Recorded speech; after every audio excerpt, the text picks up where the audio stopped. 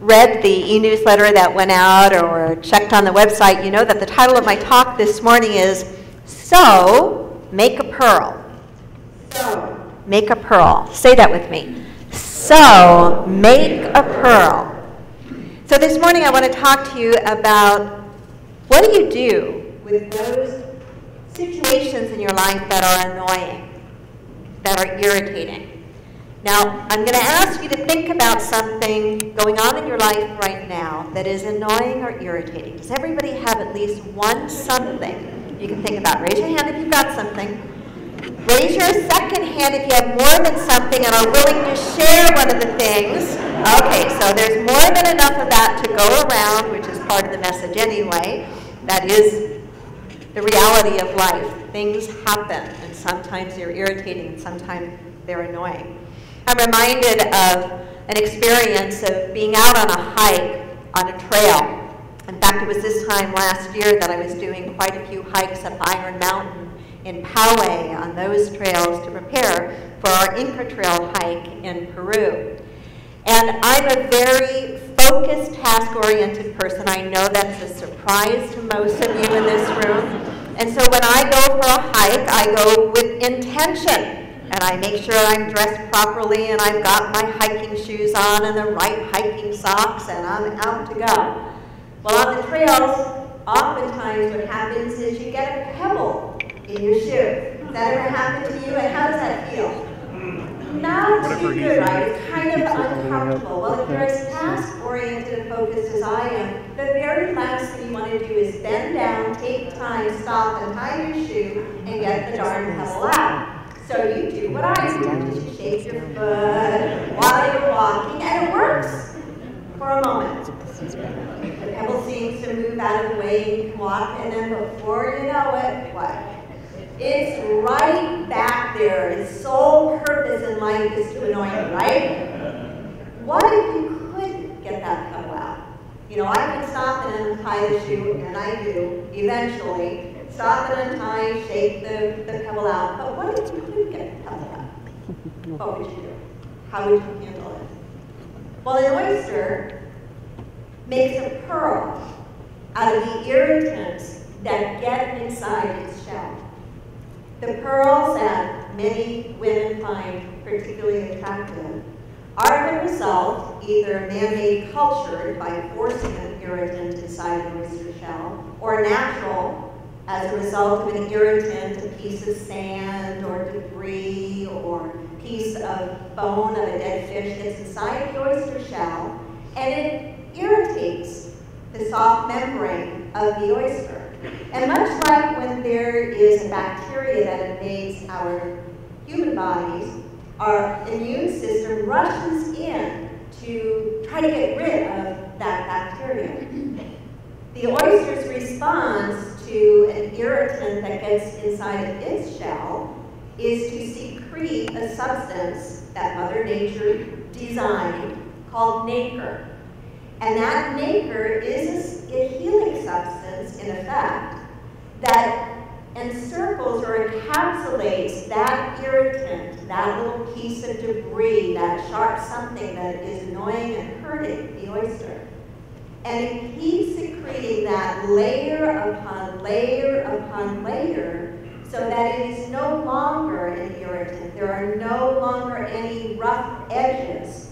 And the result is a beautiful pearl, a beautiful pearl. I'm wearing a strand of pearls this morning because whenever I think of these, I think of that as such a powerful metaphor for life. Because life happens to every one of us, no matter how prayed up we are, no matter what good intended people we are, there are things that happen in our lives that are annoying and irritating. One of the things, though, that I think is very important to realize is that the types of things that get us, that get under our skin, that are annoying to us, say volumes about who we are and how much we have grown emotionally or spiritually, or how much we have not grown emotionally or spiritually. One of the results of a life of spiritual practice will be that we are able to handle those things that most people find annoying and irritating and upsetting with greater grace, patience, and ease. In fact, many of those things will no longer be issues for us. As I was playing around with this lesson a bit and doing a little research online, I came across a YouTube video that was put together by an ad campaign basically to help those of us in first world countries get real about what are true problems and what really are just pet peeves and annoyances. The YouTube video was um, a group of young, young Haitian children and some adults in their surroundings, in very impoverished surroundings, talking about and actually stating the kinds of gripes that oftentimes are posted on Twitter and on Facebook. Here's just a sampling of them. It was quite, quite revealing to me. I hate it when my phone charger won't reach my bed. a young child in front of a hut where you know there is no physical bed inside that hut. I hate it when my leather seats aren't heated and it's cold. No car, not even a bicycle. I hate it when my house is so big I need two wireless routers. I hate it when I tell them no pickles and they still give me pickles. I hate it when my mint gum makes my ice water taste too cold. There are quite a few more. You know, it's a real mark for us to take a look at what are the things that irritate me? What are the things that annoy me? Now, there's a danger that I have discovered. I've been in ministry now for 35 years, and I have noticed that almost without exception, whatever it is I plan to talk about on a Sunday, the universe makes sure I have current real life examples to pull from. I should pick my topics a little differently, maybe. I'm not going to go into the details of the things that took place for me just in the last 48 hours. But suffice it to say, I had an opportunity to practice and to take a look at, wow, Wendy, you can really feel the irritation coming up around this particular situation, and it's not anything important. It's not anything important. Can you get past it? Can you get over it more quickly? Can you let it go? Can you let it be? Carl Jung said, Everything that irritates us about others can lead us to an understanding of ourselves. Everything that irritates us about others can lead us to an understanding of ourselves. If you really take that in, that's quite meaty. That really points to the opportunity for a lot of self-awareness, and hopefully in the light of that self-awareness, a willingness to grow and to mature and to evolve spiritually. And I would say that it is also true, not just in terms of what we notice in another person that irritates us, but more broadly speaking, what we notice in life, circumstantially or situationally, that irritates us. That too tells us something about how much we have grown in our capacity to be patient, to be mature, to be kind-hearted, to be able to keep things in perspective. I came across this quote last night. In life, we often forget the things we should remember and remember the things we should forget. Amen to that? Amen. In life, we often forget the things we should remember, and we remember the things we should forget. One of my favorite Unity ministers, no longer with us, or no longer on the planet, Eric Butterworth, used to say that more than a good memory, most of us need a good forgettery. But there are too many things we are choosing to remember and let continue to live in our minds and our hearts and rent mental space in our heads that we really need to put aside and let go. So a few things to remember, pulling from Mother Nature and from the oyster and how it responds to an irritation that invades itself, what can we learn? First, I think we can learn and, and we need to remember that stuff does happen. Say it with me. Stuff does happen. There is no way that you can completely protect yourself from some of the harshness and some of the reality of life. It does not matter how much you pray. It does not matter how many metaphysical books you have read or how many gurus you have sat at the feet of or how long you can meditate or all the states of consciousness you can, can achieve. Life still happens and sometimes it happens in ways that we do not what? That we do not like, that we do not want. Nonetheless, Nonetheless, understanding that how we respond to what it is that is happening makes all the difference in the world. When an irritant gets inside of the oyster, it has the choice when it can't expel it from its body to respond to it differently. And we're going to take a look at how do you respond to it differently. We need to remember that just like the oyster, we already have within us what we need to meet that situation and to meet it better than we have in the past. To meet it and to transform it into something beneficial, into something good. The oyster already has the ability to secrete that nacre around that irritant and transform it so not only does it no longer hurt it, but it creates for the rest of us something that's actually quite beautiful.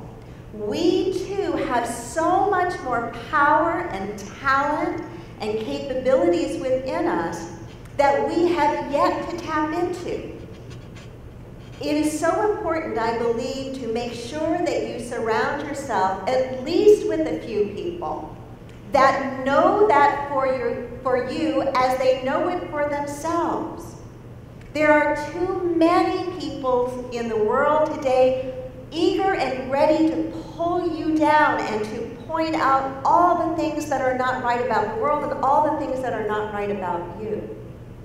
It is important that you balance that with those in your life that can see the potential in you, that can remind you that you are not the worst mistake you have ever made, that you are more than what you are right in this very moment, and that they have the belief in you that you can tap into that extra power, that extra potential to meet and overcome, to transform whatever it is that currently is either so annoying, irritating, or is genuinely a serious problem and challenge.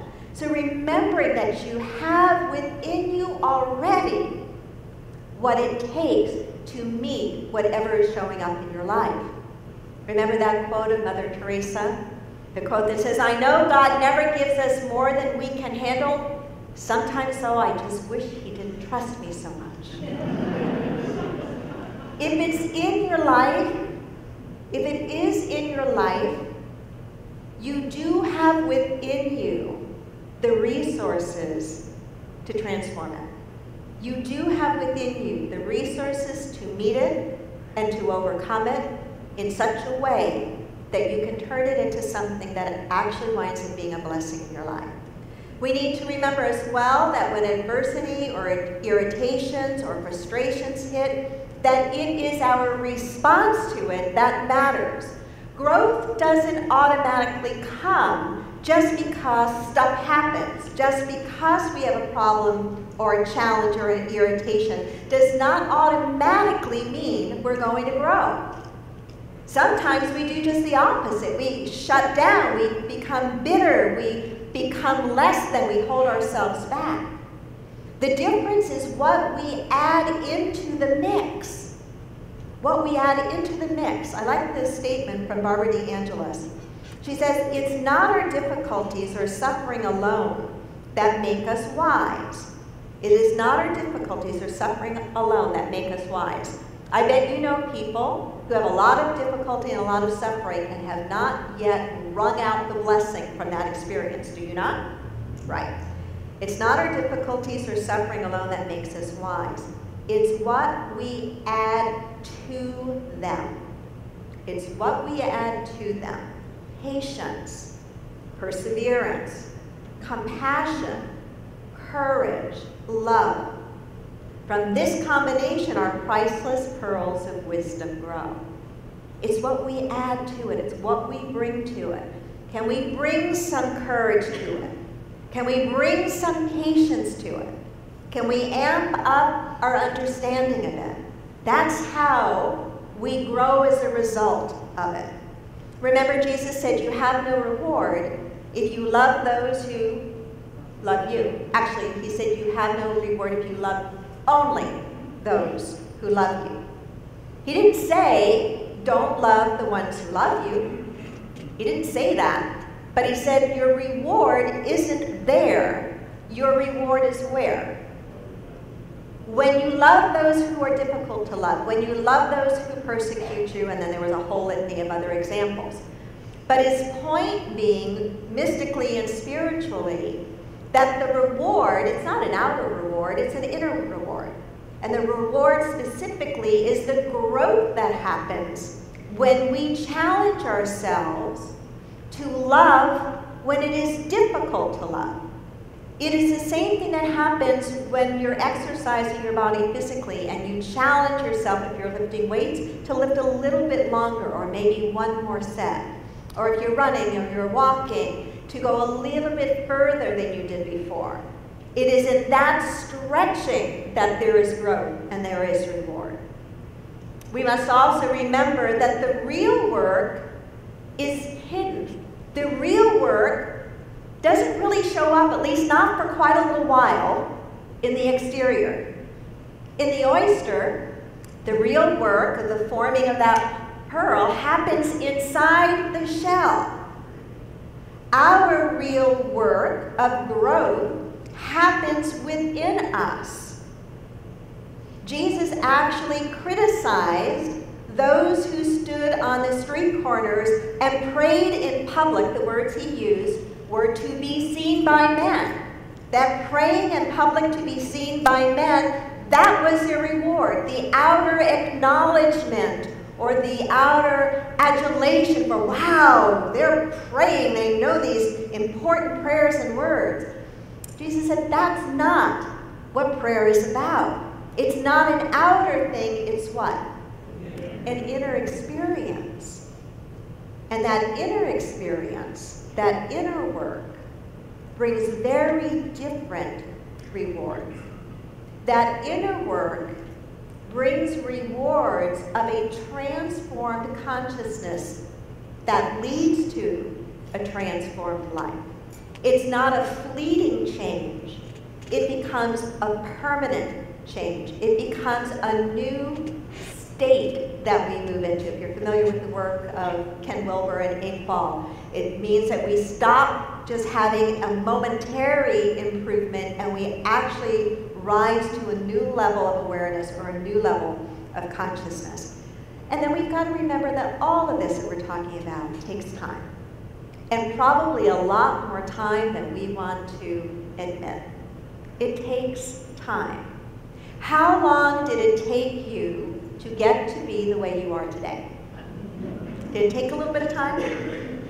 People who are really negative and critical and judgmental, do you know what?